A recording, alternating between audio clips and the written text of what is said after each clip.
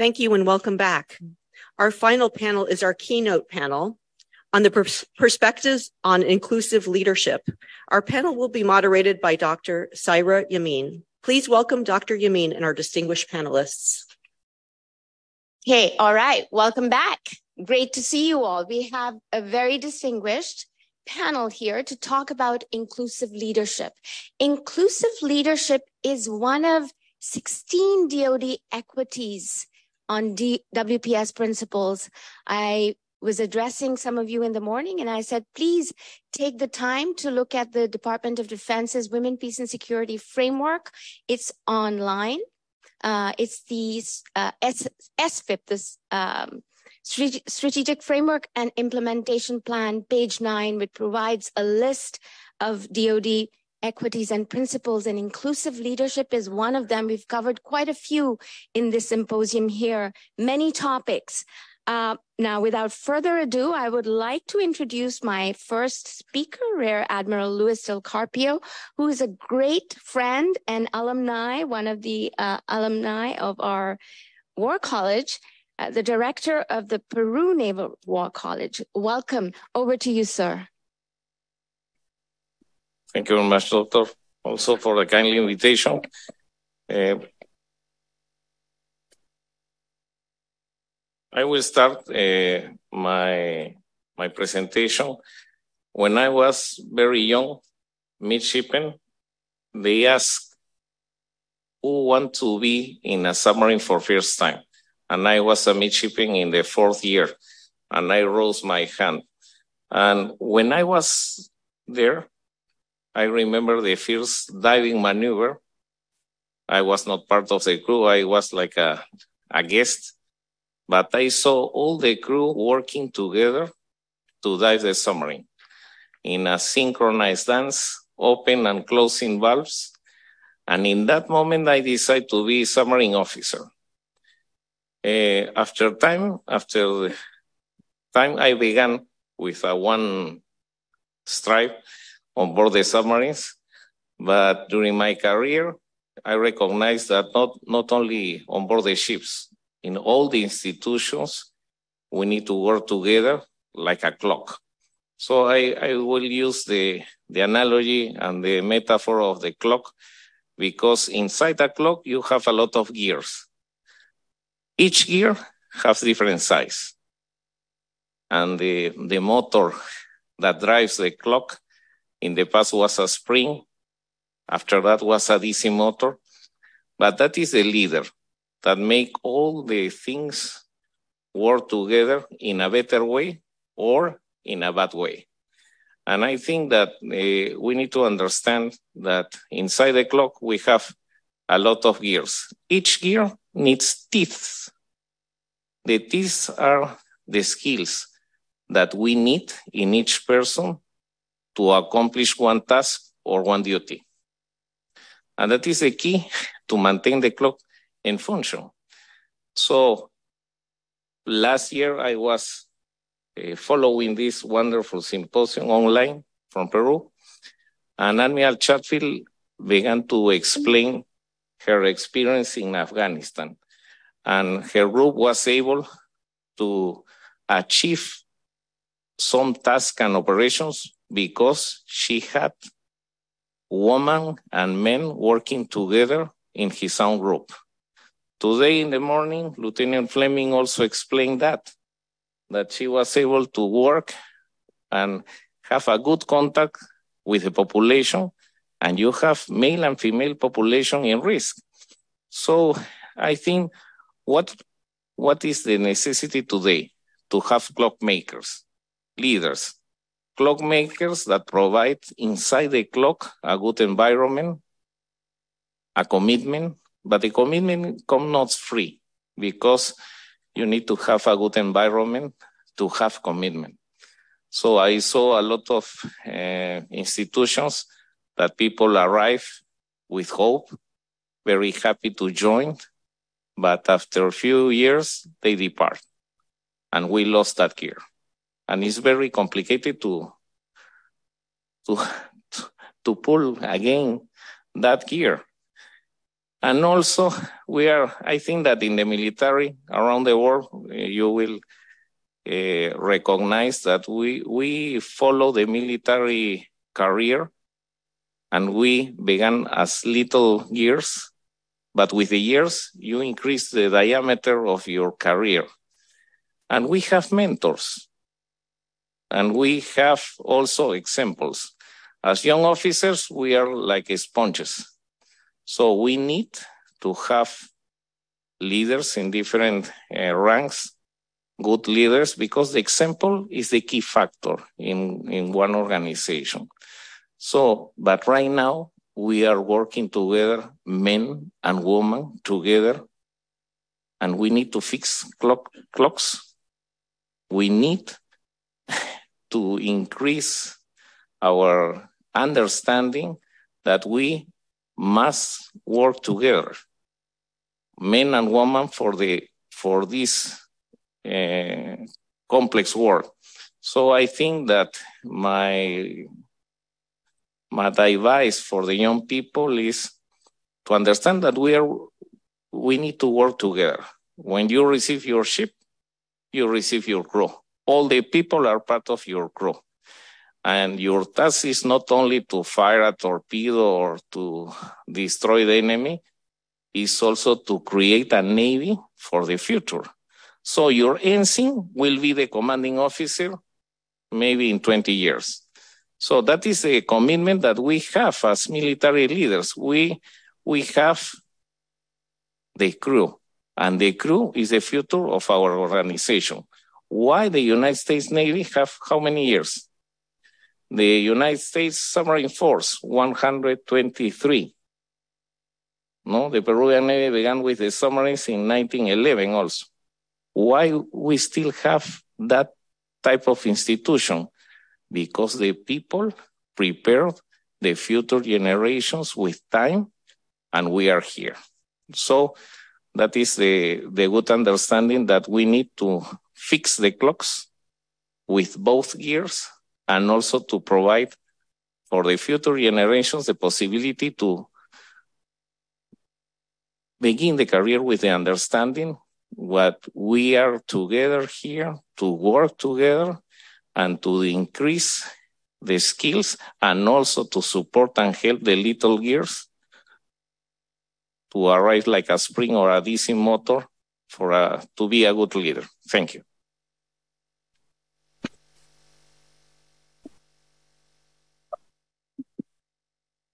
Thank you so much, Admiral Del Carpio. This wonderful clock metaphor, I think is going to stick with me. The teamwork that's required to work efficiently and effectively in the different s- skill sets and the clockwork that you're talking about. Thank you for your fascinating perspective. Our next distinguished speaker is joining us virtually. Uh, Ms. Andrea Goldstein is the acting director for force resiliency at the Department of the Navy.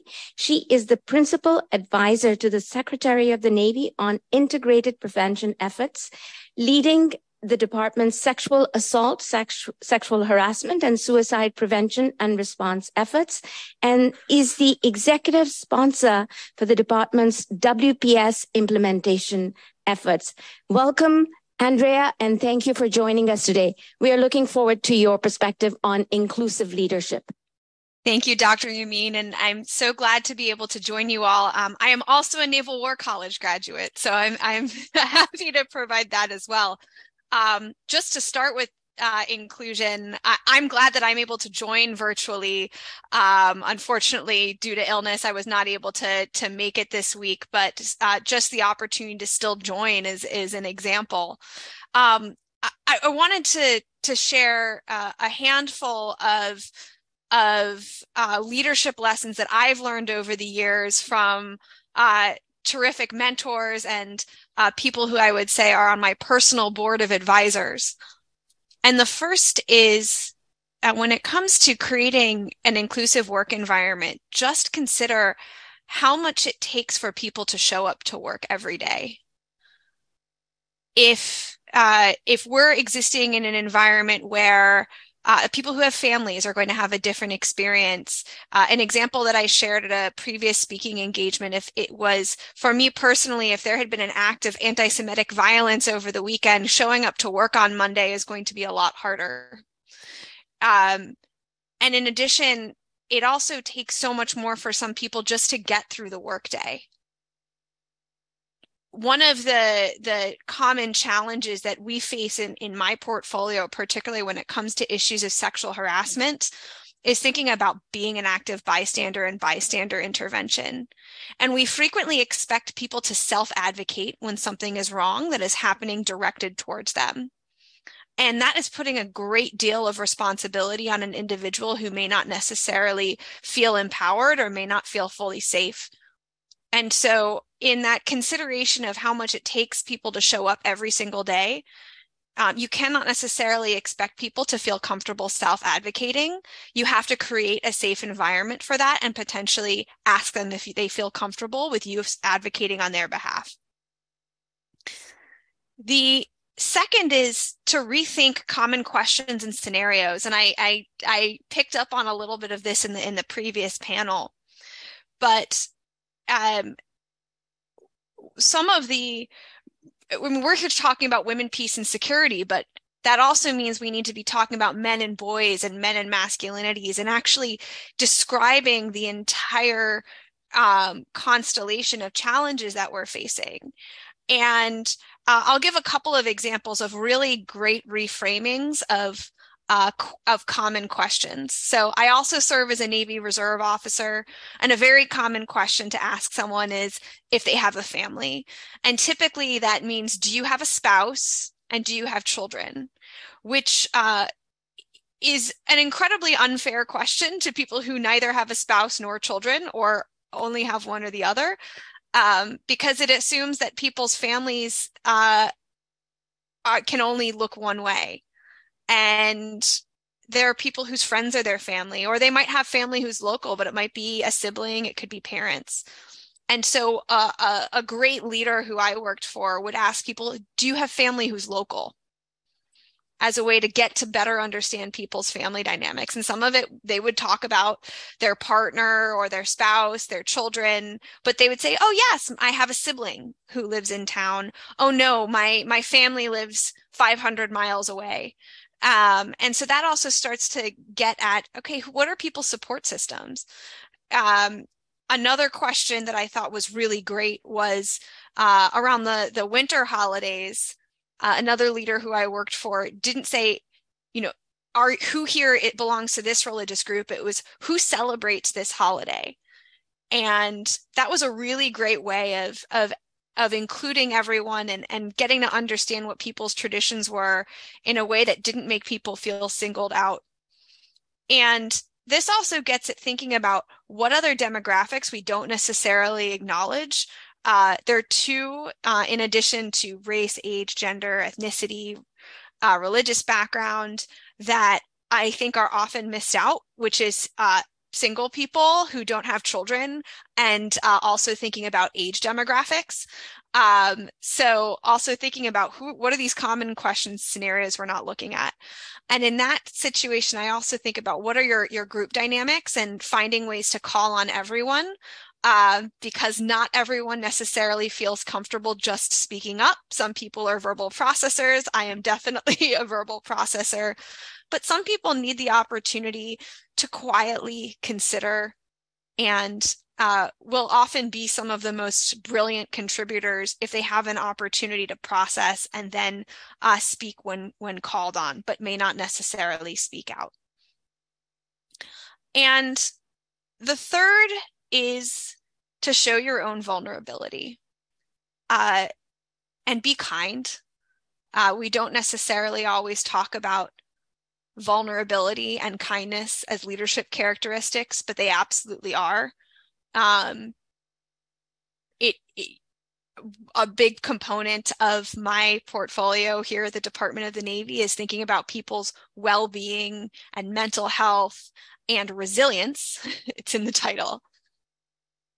But as leaders, we cannot expect people to do things that we would not do ourselves. And showing humanity and showing kindness and showing that you care creates an environment where people feel much more willing and able to be themselves. And so uh, those there were so to to sum up, there were three points. One is consider how much it takes for people to show up every day, rethink common questions and scenarios, and show your own vulnerability and be kind. And I'm looking forward to the rest of this panel. Thank you. Wonderful.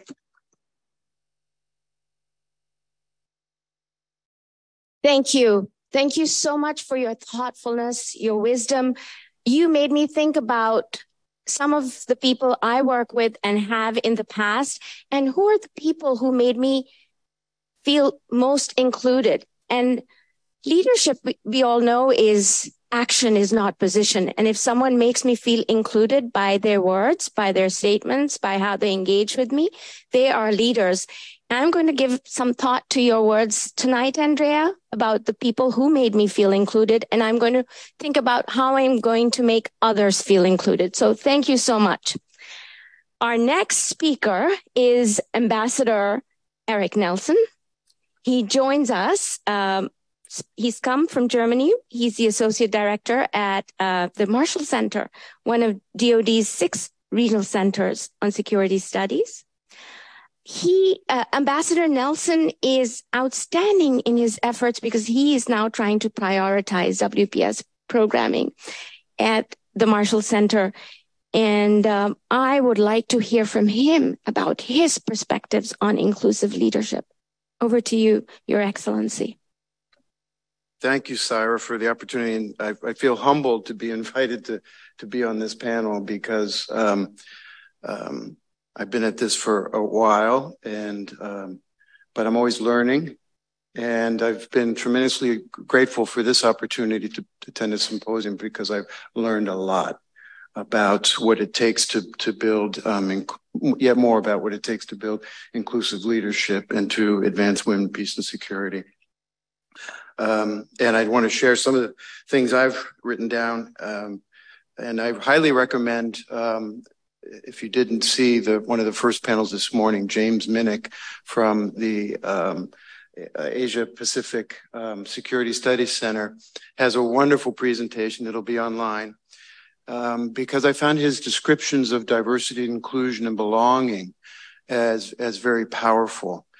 Um, especially when we, we, we talk about, unfortunately, diverse inclusion has now even become controversial about um, because too often we address it as a zero sum game. If somebody's given, if somebody else is, if somebody's new, included, then that must, must mean somebody else is excluded. And that is not at all what it's about. Um, but he defines it belonging as an environment where barriers are removed, where all feel valued, where divergent opinions are respected, and where people do not re- reform to be accepted. Um, and I don't know about you, but in my few days here at, at, the Navy War College and my conversations with, with many of the students, this seems like a great place of belonging. I feel like I belong and I salute Admiral Chatfield for building a, a very, uh, an institution that makes people feel belonging. I'm going to pause for applause if you agree.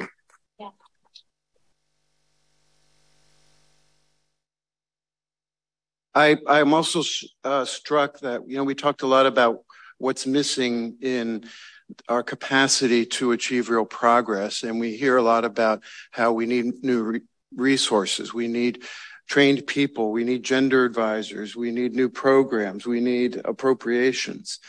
Um, we, I think more importantly, need to just uh, order our priorities to make sure that whatever resources we have we're including prioritization of, of, of inclusion, especially of inclusion of women, to create effective teams and to accomplish our missions. Because the failure to include women, the, the, the failure to include any group, produces a, a team that is not robust and is not weak. And every leader knows that they need to surround themselves with a diverse team that you need various viewpoints And you need to build a team where hopefully you're, if you're the smartest person in the room, you're in trouble.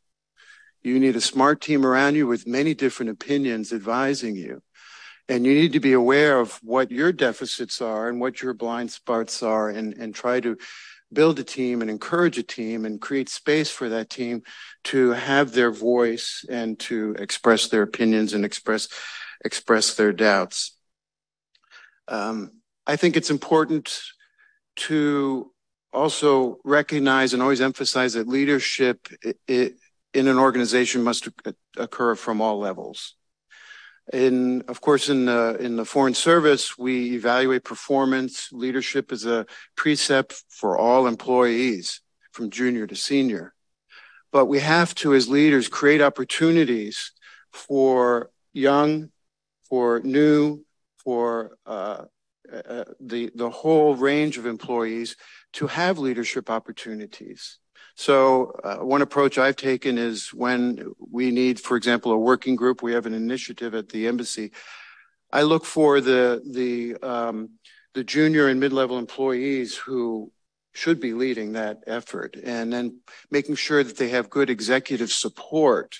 But that working group is chaired by the working level um, that is really best informed about the problem and trying to build a solution. And then that's a great opportunity for, for you to coach them and, and help them exceed in advancing change. But no, no employee should feel like they can't lead from whatever rank they're at. And it's important for leaders to um, create those avenues where, where they have that, that, that opportunity. Um, oh, and there are tools I think that that can help you. I've used the Gallup's uh, Strength Finder, which um, is a short test that you can take and it assesses some, I think, 40 or 42 strengths that are required on a team. And not every team requires all 40 strengths, but when you get your team to take this, everyone ends up with five strengths, and then you can create a nice matrix and look at how, how we together covering all of the strengths that are required who's the, the best collaborator? Who's the most, um, uh, who's the better communicator? Um, who's the, who are the activists?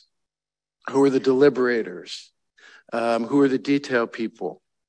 So, because if you have, of course, you don't need every strength for every task, but if you find your team is heavy, very heavy on one strength, um, that actually can can can be a weakness.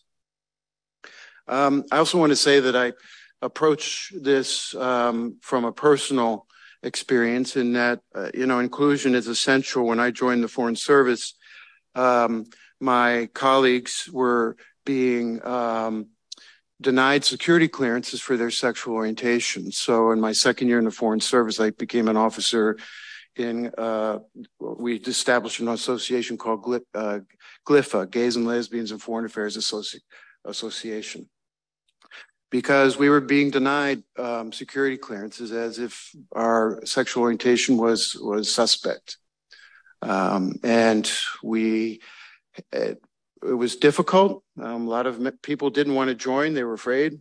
Um, but it took, especially younger people like me, who felt I had nothing to lose. Um, but I can't go through a career and not be authentic and not be myself and not have have my partner recognized. Um, but our progress, we would have had no progress if we hadn't had allies. So as we advocated for for the gaps and for the the discrimination that we against the discrimination that we were experiencing, change had to come from the current leadership.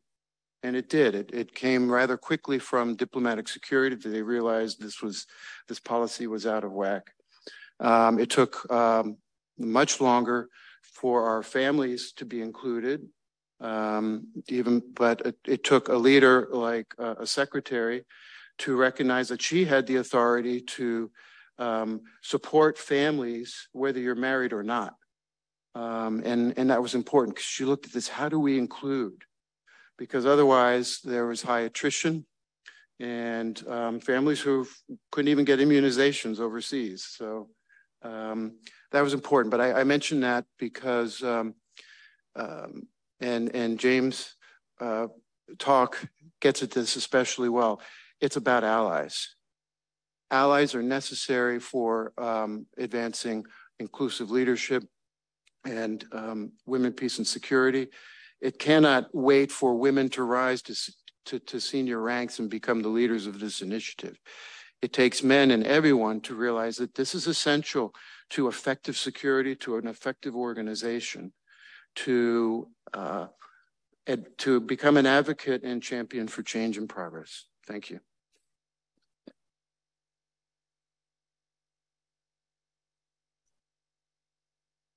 Ambassador Nelson, that was very powerful. Thank you for your very candid remarks. Again, a lot of fruit of thought.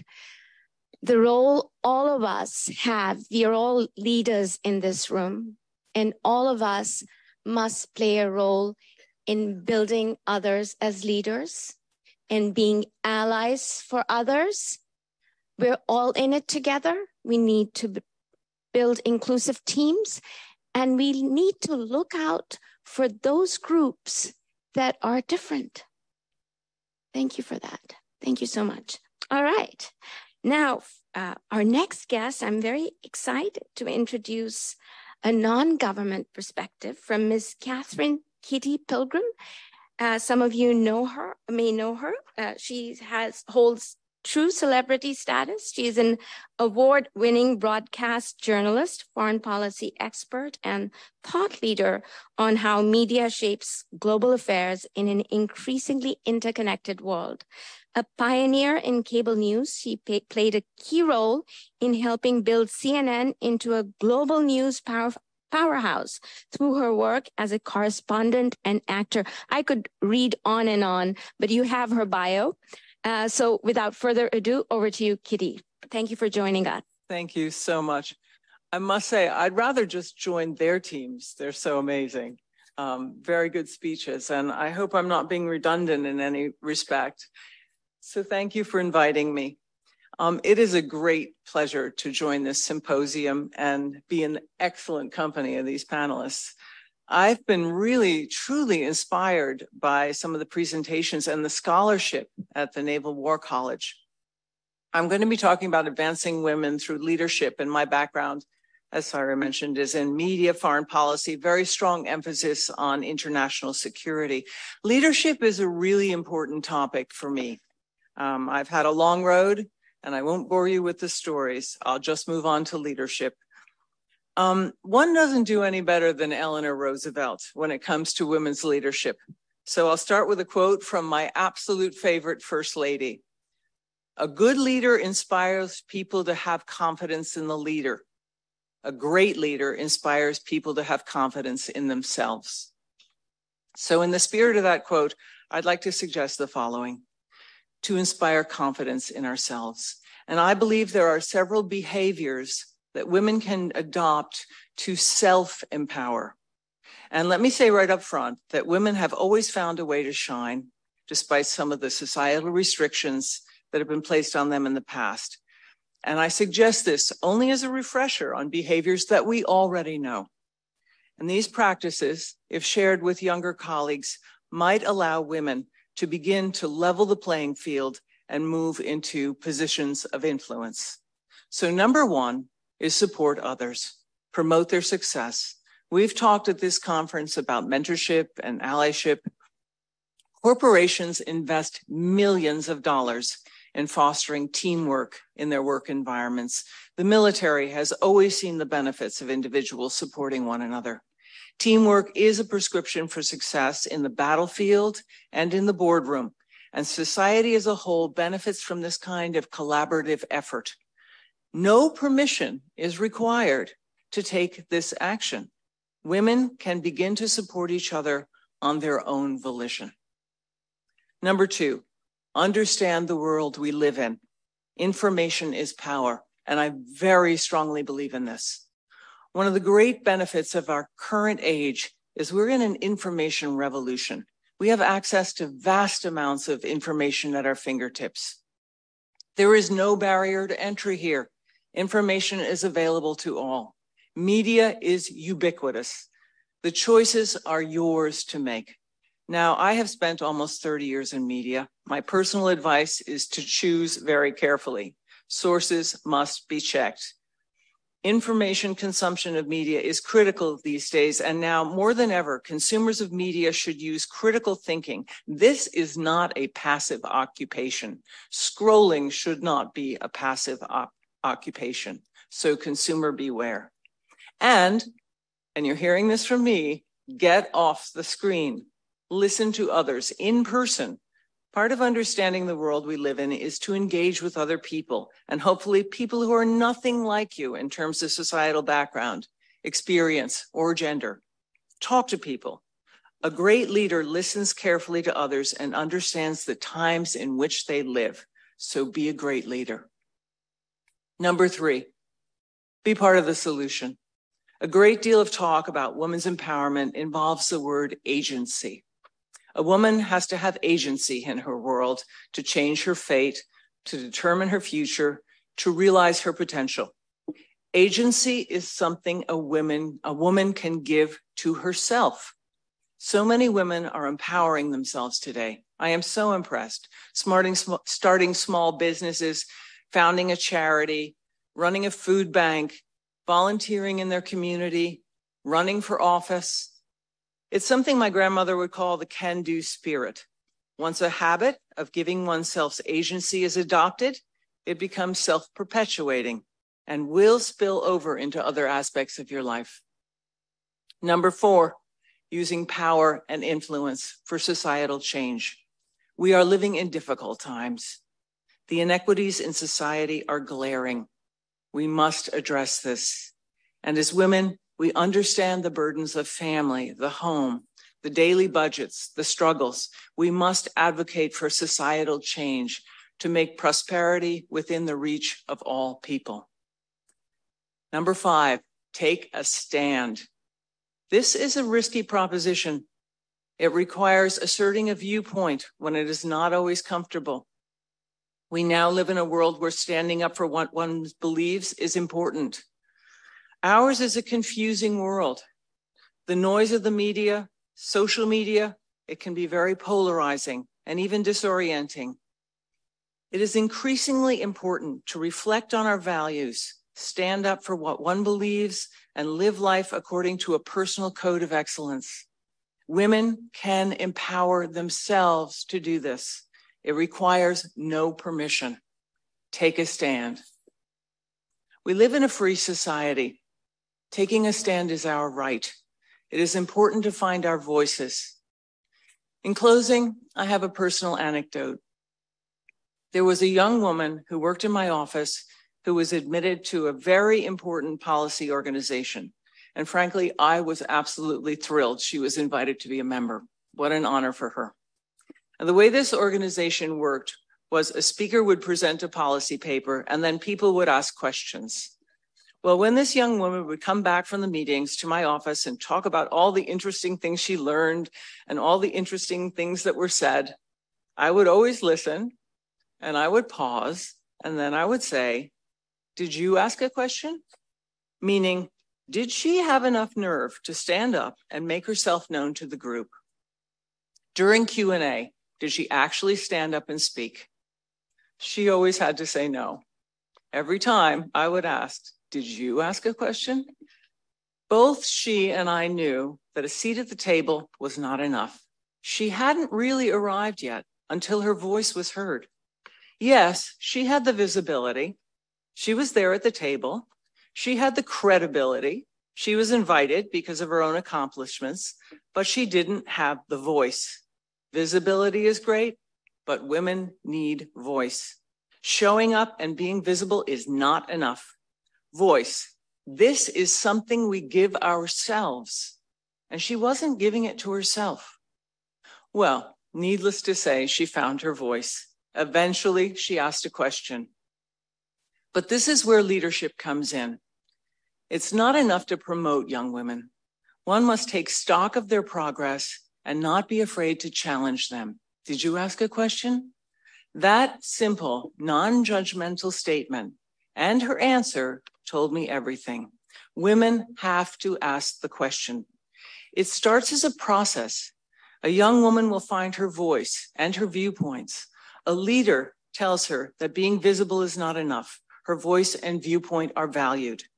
if we pull the young women and men out of the corners and ask their opinion and make them understand that their views are valuable, inch by inch, women will step forward. Women will engage. Women will lead. And that is leadership. And now I invite you to ask a question.